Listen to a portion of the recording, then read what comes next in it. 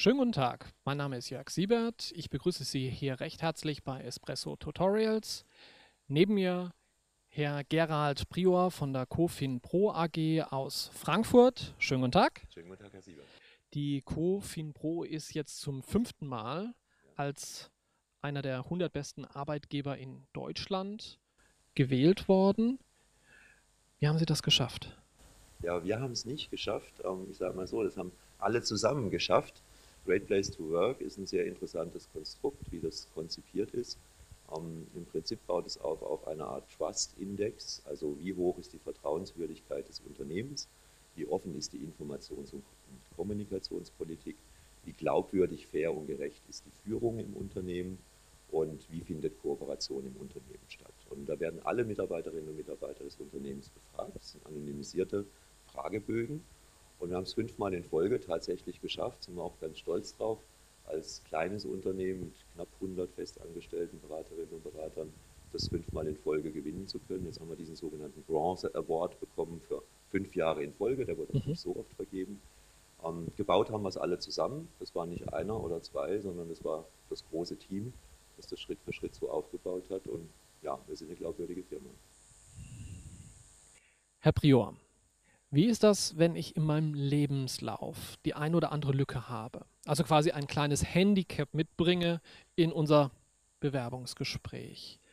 Macht es dann Sinn für mich, das zu kaschieren? Soll ich offen spielen? Also wie gehe ich mit diesem Hindernis um, was ich ja nicht aus dem Weg räumen kann, weil diese Lücke ist nun mal da, sei es jetzt motiviert beruflich oder privat. Wie sollte ich als Bewerber damit umgehen? Immer offen spielen, also immer bei der Wahrheit bleiben, das ist, glaube ich, das A und O im Leben. Ja, immer ehrlich bleiben, immer anständig bleiben und die Dinge so darstellen, wie sie sich ereignet oder zugetragen haben. Und wenn mal was schiefgelaufen ist, ich habe da gar keinen Schmerz mit, wenn ein, ein Bewerber sagt, ich habe mich einmal für die falsche Firma entschieden, habe es nach sechs Monaten gemerkt, ähm, die Gegenseite hat es auch gemerkt, äh, wir haben beide in der Probe ist doch kein Problem. Das kann passieren. Mhm. Ähm, es kann auch passieren, dass man vielleicht, ja, sei es gesundheitliche Gründe oder äh, Burnout-Effekt oder, oder, oder, ja. Also die meisten Lücken sind ja erklärbar. Ja. Ähm, ganz offen damit umgehen, ganz offen darstellen, so erläutern, wie es ist.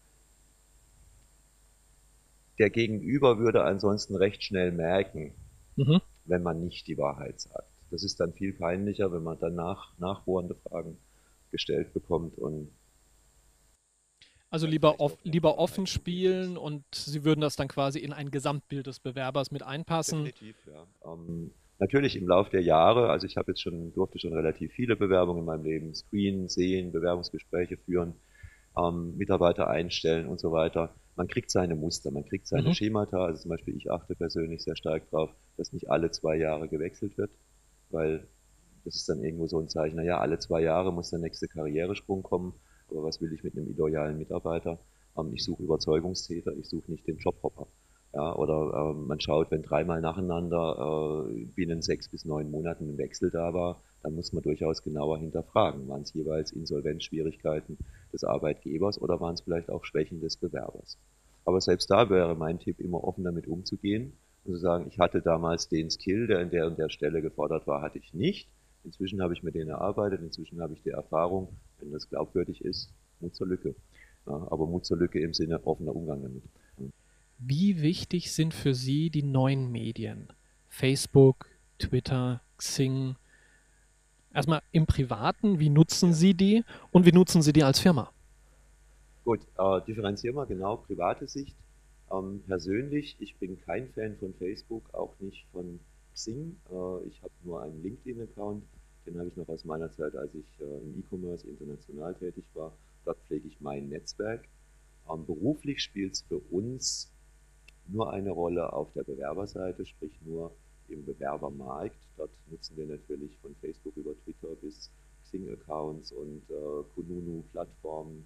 Ja, auch solche Auszeichnungen wie Great Place to Work helfen uns mhm. da sehr als kleines Unternehmen im Kampf um diese ja, eng gewordenen, hochqualifizierten Technologieressourcen. Ähm, da muss man die sozialen Netzwerke nutzen.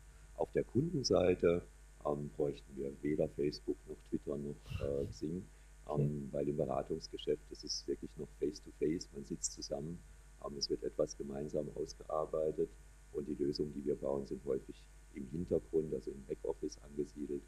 Ähm, ja, da macht man keine Werbung über Facebook oder gewinnt keinen Blumentopf über Twitter. Das funktioniert.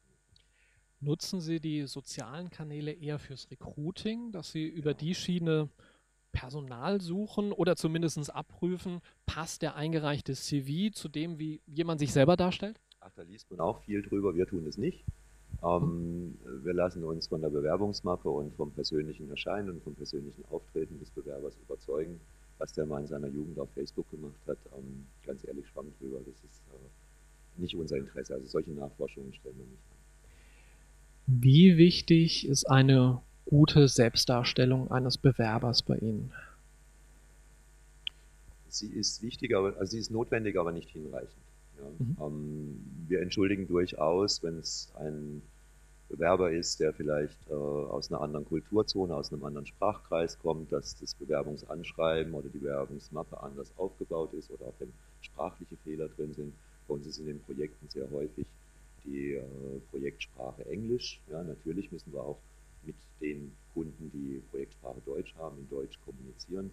Aber selbst da ist heute im Technologiebereich Usus, dass man ja leichte Schwächen oder so übersieht. Ähm, eine gute Selbstdarstellung ist wichtig, aber mir bringt nichts, wenn, wenn einer sich wie ein Einserkandidat darstellt, aber ähm, die Interpersonal Skills sind im Endeffekt entscheidend. Und da zählt das persönliche Gespräch. Und auch dort eine überzogene Selbstdarstellung ist etwas, was wir gar nicht mögen, mhm. sondern bei uns im Metier, in unserem, in unserem Branchenzweig geht es um Authentizität, das heißt Selbstdarstellung, Self-Orientation eher in den Hintergrund nehmen und eher ein dezentes, gutes Auftreten.